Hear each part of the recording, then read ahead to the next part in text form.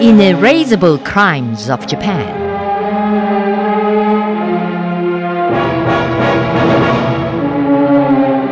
The year 1905. Japanese militarism left inerasable criminal traces in the history of the Korean nation.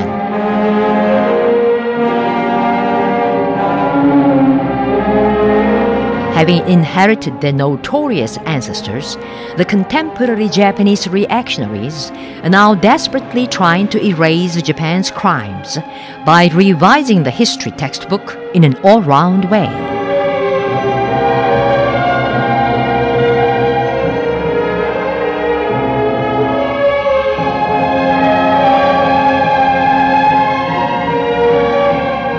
High-ranking officials of Japan throng the Yasukuni shrine where the mortuary tablets of war criminals are preserved to give impetus to the revival of militarism, while the right-wing extremists, on the other hand, put on the blood-stained uniforms of the old Japanese army and showed up in front of the shrine.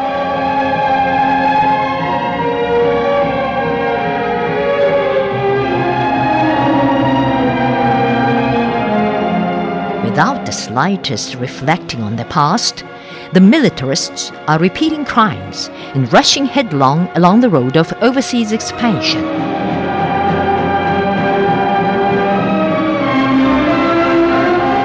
Referring to the blatant aggressive nature of Japan, He Jong-ho, academician of the Korean History Society, has this to say.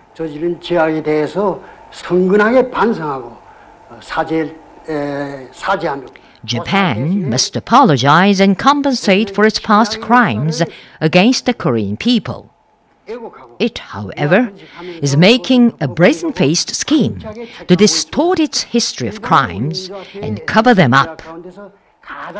The greatest crime committed by Japan against the Korean nation is to have extorted Korea's state sovereignty in a burglarious manner in the latter half of the 19th century, the imperialist powers competed with each other to turn the Korean peninsula into their colony. The sly Japanese took the way to invading Korea backed by the United States. Accustomed to gain benefits with the backing of a big nation, Japan concluded the Taft-Katsura Agreement on July 29, 1905, to obtain the U.S. agreement to their occupation of Korea in return for recognizing the U.S. occupation of the Philippines.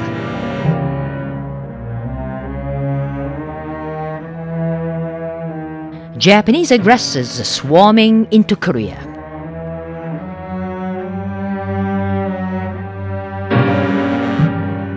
Ito Hirobumi, who had become the chairman of the Privy Council of Japan after his four successive terms as prime minister, came to Seoul in mid November 1905, allegedly to console the royal family of Korea.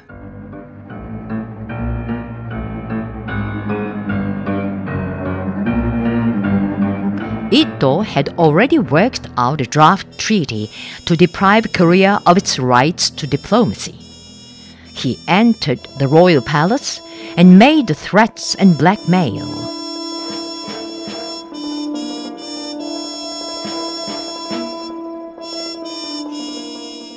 The draft was run through with burglarious demands that a Japanese resident general be appointed to rule the whole of Korea, the diplomatic affairs of Korea transferred to Japan, and not an agreement concluded with any other country without permission of Japan.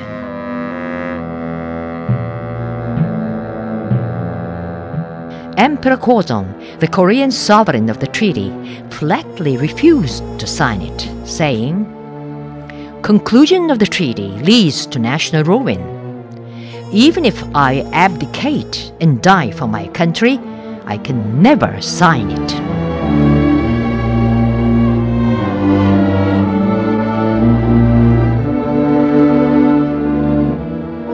At this, Ito clamored. This is an immovable draft. If you refuse, our imperial government will act as it has decided. With the Korean emperor absent and the opposing ministers dispelled, he fabricated the illegal treaty at the Doksu Royal Palace. The original text of the treaty has neither the Korean emperor's signature nor the stamp of the royal seal.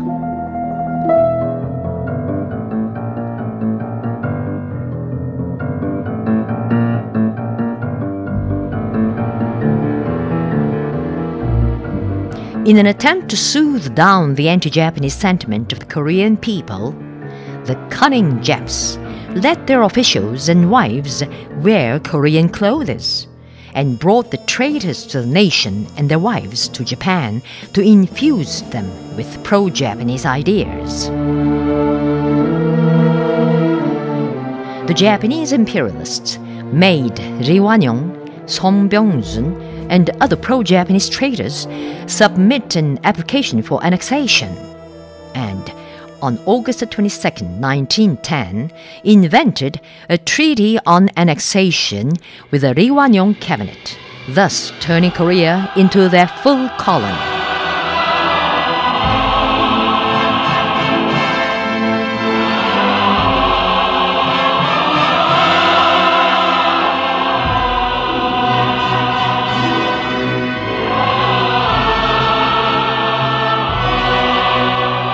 At the sight of the Japanese flag on the Gyeongbok Imperial Palace, the Korean people wailed aloud with the sorrow of national ruin.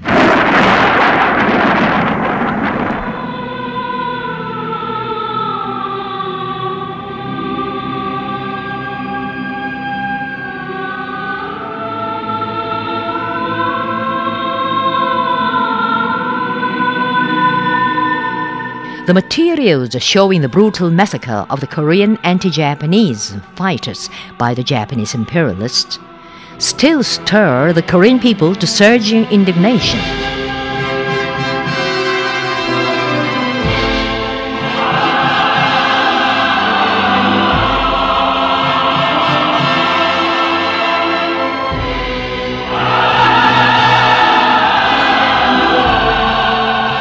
From the first day of occupation of Korea, the Japanese imperialists set up the most barbarous military police system. They built 17 prisons with 11 branches across Korea and ruthlessly put down the resistance against Japan.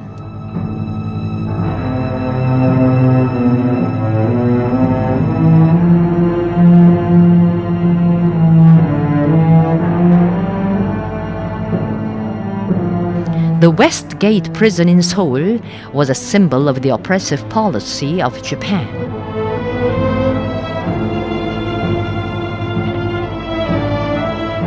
Here, the Japanese hangman killed a large number of Korean patriots and innocent people by the most brutal and truculent tortures beyond imagination.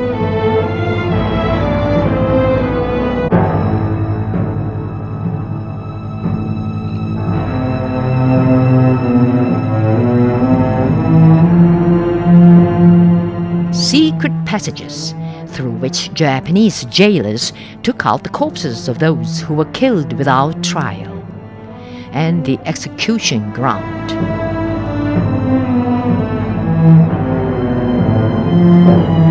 The Japanese imperialists plundered lots of cultural assets of Korea. A lecturer at the Korean Central History Museum says,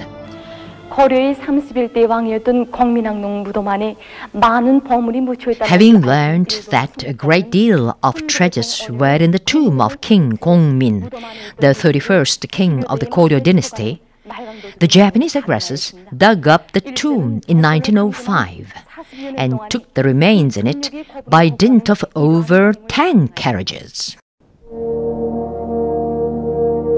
Japan organized grave digging groups with policemen and dug up more than 1,400 tombs of the Koguryo dynasty around Pyongyang alone, and 2,000 old tombs in Kaesong, Haeju, and Gangwon province. They carried to Japan all of the cultural assets associated with the distinguished talents of the Korean ancestors.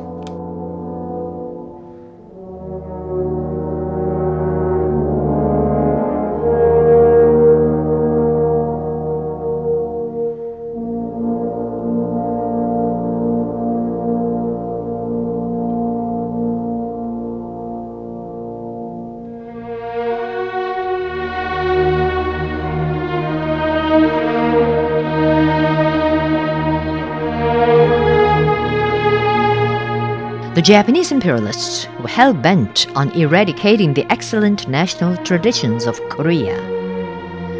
They burned history books on King Dangun, as well as biographies and patriotic publications telling about Ulchi Mundok, Ri Sun-shin, and other patriotic military commanders, and forced the disobedient newspapers to close.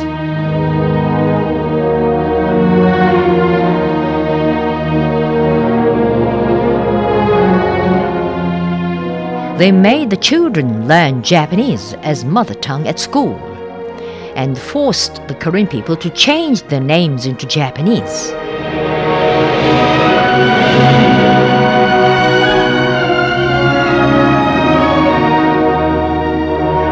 In August 1910, they proclaimed the Order of Land Investigation to plunder the Korean peasants of 1 million hectares of fertile land and distribute them to the East Colonization Company and Japanese landlords. During their occupation of Korea, they took away 39 million tons of white rice.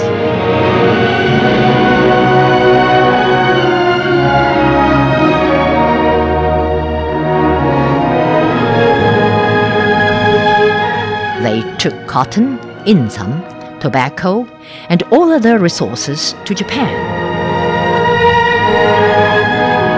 Every year, they seized hundreds of thousand cows, the greatest property of the Korean peasants then. They also cut thick trees at random and carried them to Japan across the Korean Straits.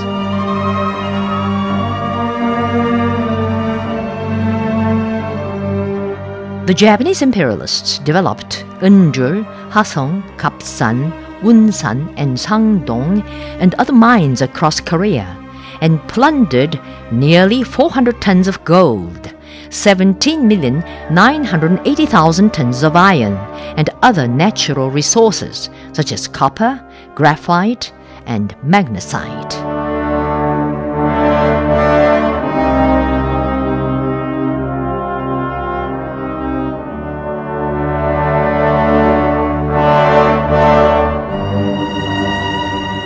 They also drafted by force more than 8,400,000 men, virtually most of the young and middle aged people of Korea, to allocate to the most difficult and back-breaking underground work and construction sites.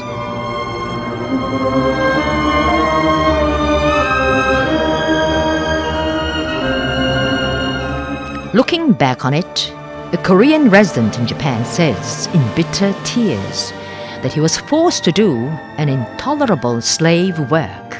생각하면은 나는 그리고 살가 있고 말할 것도 없고 가을 두해니까 내가 이 북해도 허가하고 해체들한테 압박받고 차치받고 허가 반응을 시작하고 막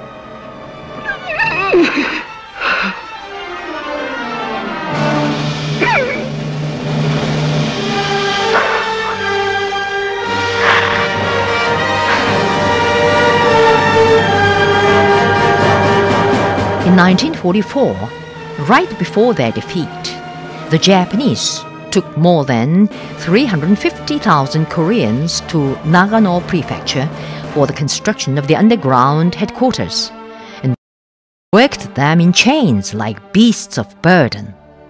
In the end, they brutally killed them to keep secret.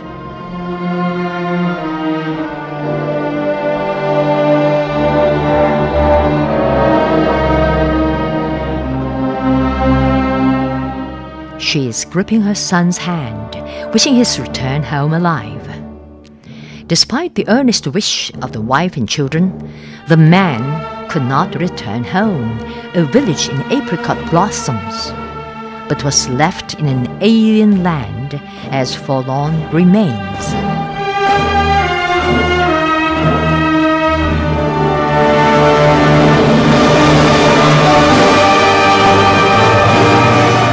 The Chikuho coal mine in Kyushu, Japan, the then undertaker of a third Japan's coal production. So many Koreans were killed here too. The Japanese did not return the remains home. Instead, they resort to sanctions against Korea, making much ado that the remains of a Japanese woman sent back by Korea from the humanitarian stand are forged. More than 1 million Koreans did not return home after being drafted to Japan. But the Japanese reactionaries escape apology and compensation for the terrible atrocity. They removed the expression of forcible drafting from history textbooks. Such an act of falsifying history utterly discloses the low moral baseness unique to Japan.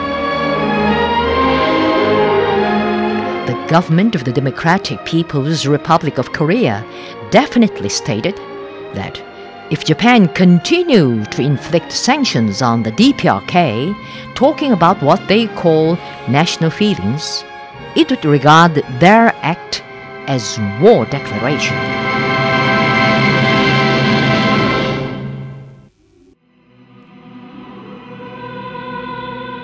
Hainan Island at the southern tip of China.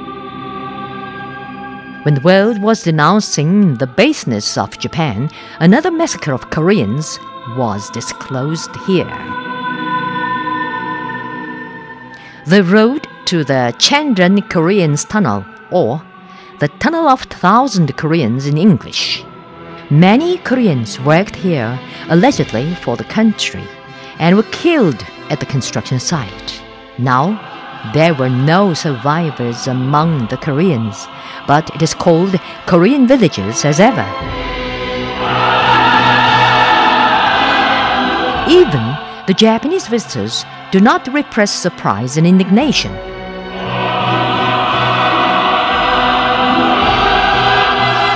Corpses were found in tens or hundreds here and there on Hainan Island. They exposed the appalling scene of the murder of Koreans.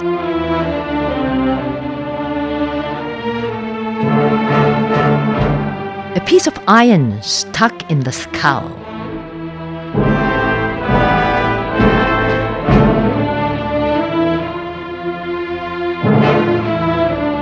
A skull broken by beating. Deprived of the country, they were buried alive in an alien land. Their bodies were torn by the bayonet and the bones broken. Their remains expose the never pardonable crimes of the barbarian Japs.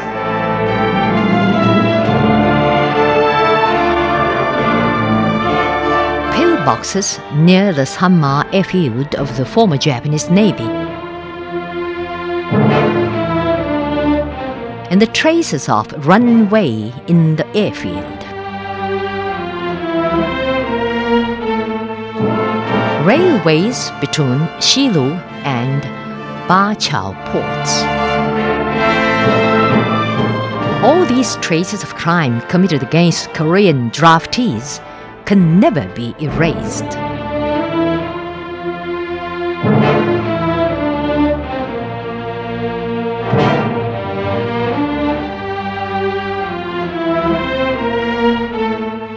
Is a tunnel for the Japanese army at a Korean village.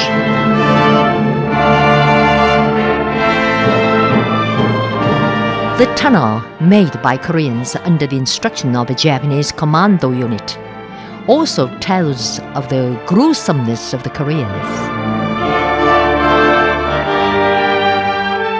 The residents on the spot unanimously testify their wretched state.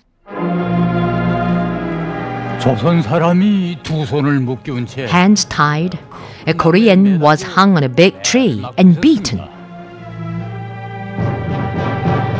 일본 병사가 Japanese soldiers were beating him before and behind.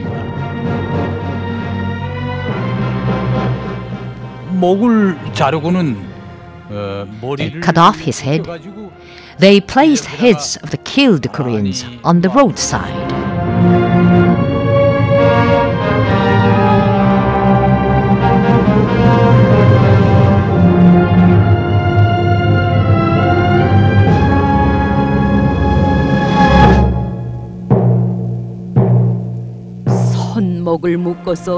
They hung Koreans on a big tree after binding their wrists and beat them to death. The Koreans were writhing and screaming.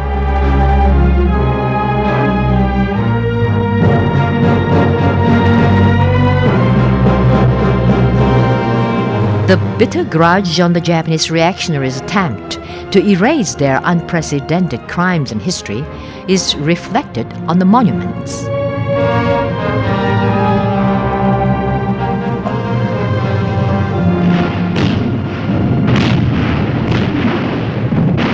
After provoking the Pacific War, the Japanese took Korean young and middle aged men to Southeast Asia and some islands on the Pacific under the names of Patriotic Drafting Corps, Volunteers Students Corps, etc. They were forced to slave labor as workers attached to the military. When supply routes were cut nearing their defeat in the 1940s, the Japanese cannibals on the remote South Pacific island slaughtered Koreans like beasts and ate their flesh. The South Army Command gave them a legal guarantee.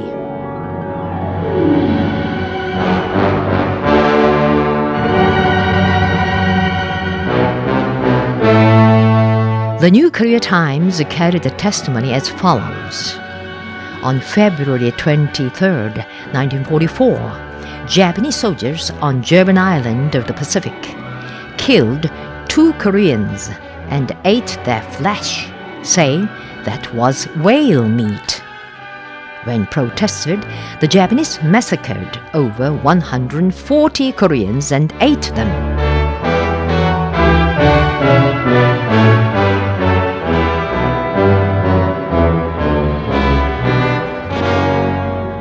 Japanese cannibalism was really appalling in the mid 20th century, the era of civilization. Japanese imperialism was defeated on August 15, 1945. But the beasts did not forsake their brutality. Bleeding in defeat, the Japanese imperialists hatched a scheme to murder a large number of Koreans. The Japanese beasts of the Kominato Command worked out a wicked plot to bury at sea the Koreans who were returning home with the joy of liberation and thus reduced their disgrace of defeat even a bit. The sea off Maizuru, where the ship Ukishima Maru was blown up by the beastly Japs.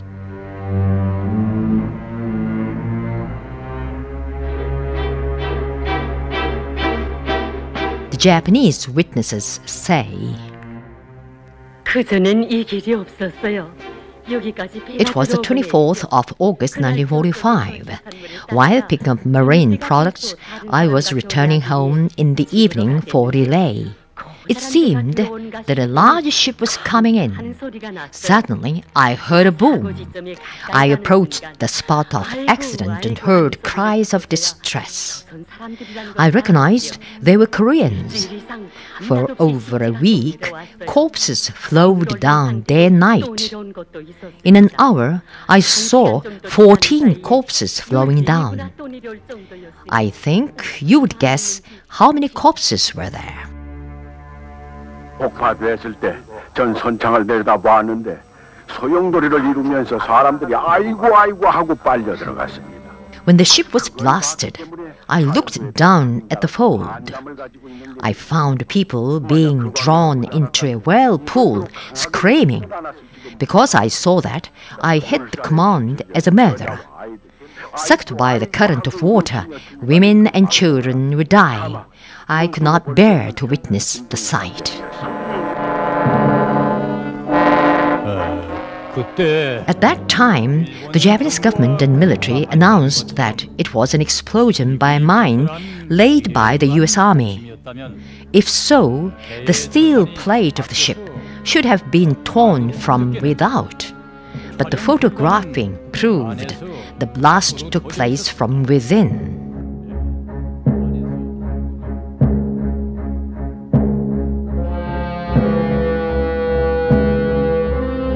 According to the premeditated plot to kill Koreans, the Ukishima Maru carrying them sailed along the coast of Japan and reached the Maizuru Bay.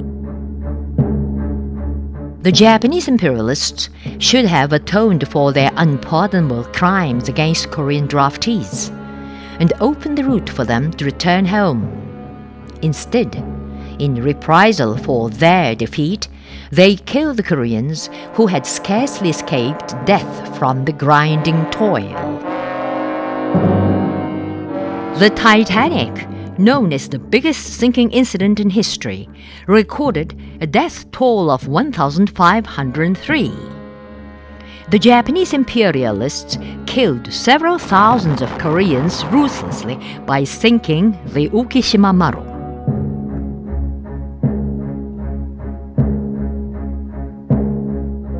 Evidences prove that the officers escaped by boat in advance, and there were no mines there. But the Japanese government maintains even today that it was a blast by a mine of the US Navy.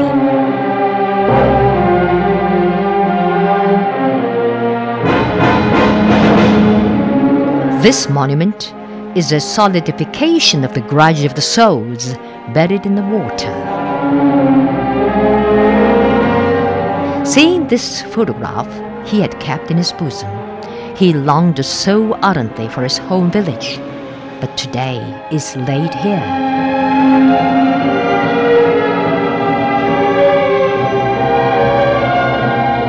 The soul of a child who gripped the skirt of his mother with joy of the news on returning home is now bitterly denouncing the crimes of the Japanese imperialists.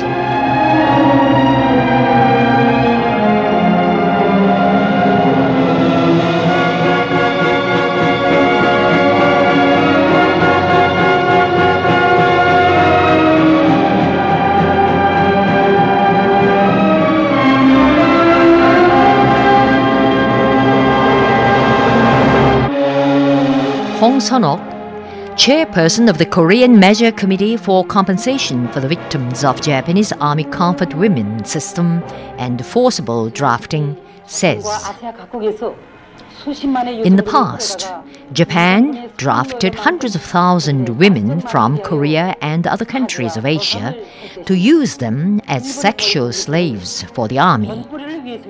But the high ranking politicians of Japan do not make an apology and compensation for the beastly atrocities.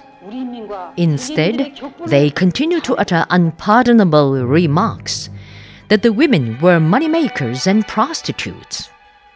This arouses indignation of the Korean and other people of the world.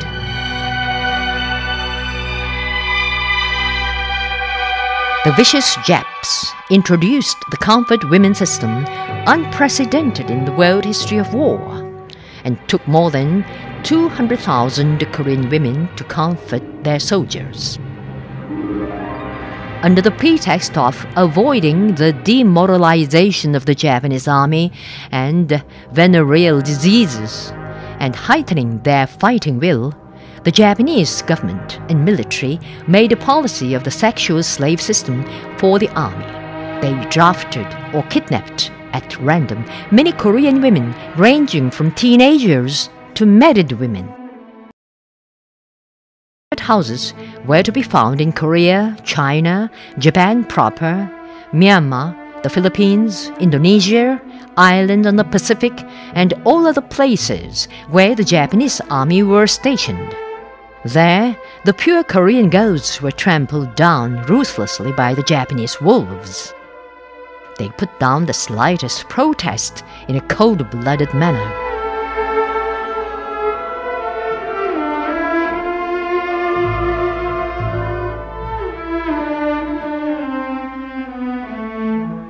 The survivors say.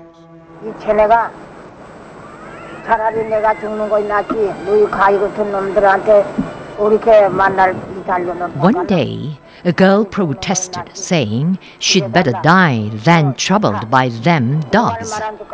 At this, Japanese soldiers cut her neck, arms, and legs and put her body into a straw bag. At the horrible sight, the girls there screamed and fainted. 발 잘라라 발 잘라 가면 가만히 있다 다리게 잘라라 다리게 잘라 담았다 몸떼기도 가만히 다 주 담는 거 보고 그걸 보고는 그 쟤네들이 다 아까 지금 그 자리에 다 죽어 누그러졌습니다 Shimdal-yeon, born at Chilgok, North Gyeongsang Province in 1927. One day, the Japanese let all of us gather and stripped the girl stark naked and bound her tightly. Then they cut off her breasts, threatening to kill any runaway that way.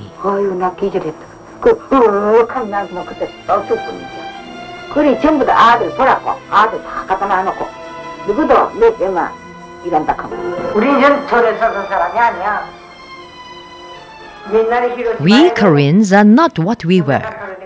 We 70 million Koreans want to hit Japan more powerfully than the atom bomb dropped in Hiroshima.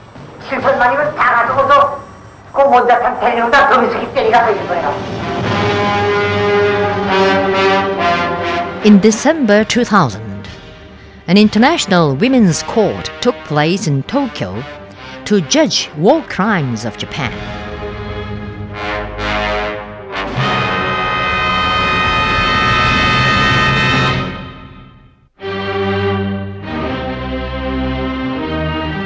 Hand there were survivors of comfort women's system for the Japanese army from eight countries nation and delegates of over 30 countries and international organizations to deliberate on the crimes of sexual slavery.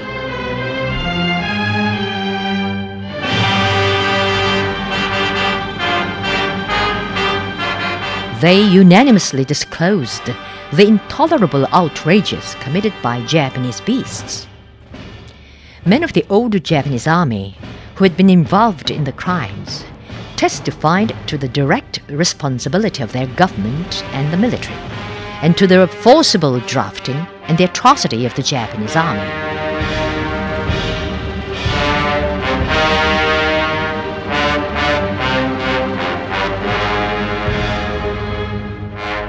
The court convicted the then Japanese king Hirohito of crime and demanded an apology and compensation for the comfort women issue from the Japanese government.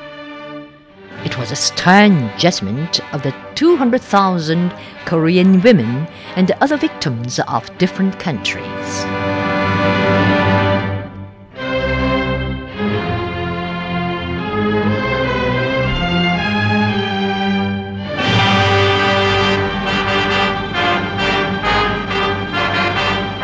But it is not enough to heal the wounds inflicted on the Korean and other Asian people. The survivors of the outrage are burning their hearts with indignation at the Japanese imperialists who trampled down the youth.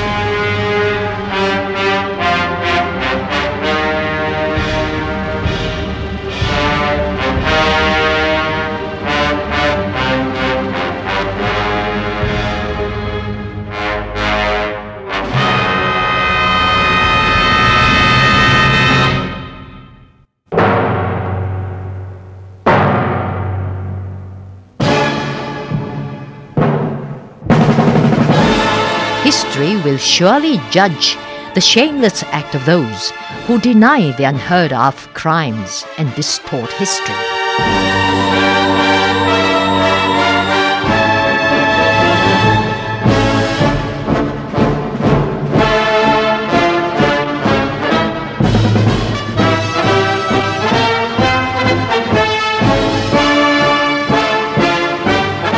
Tok Island, a part of Korean territory from time immemorial.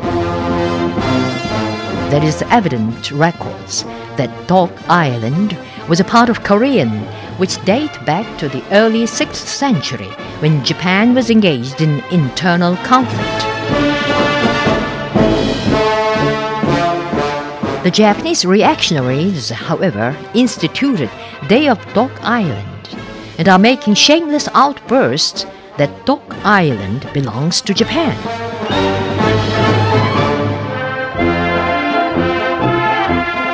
Crying for Great East Asia prosperity, Japan perpetrated manifold crimes against the Korean and other Asian people.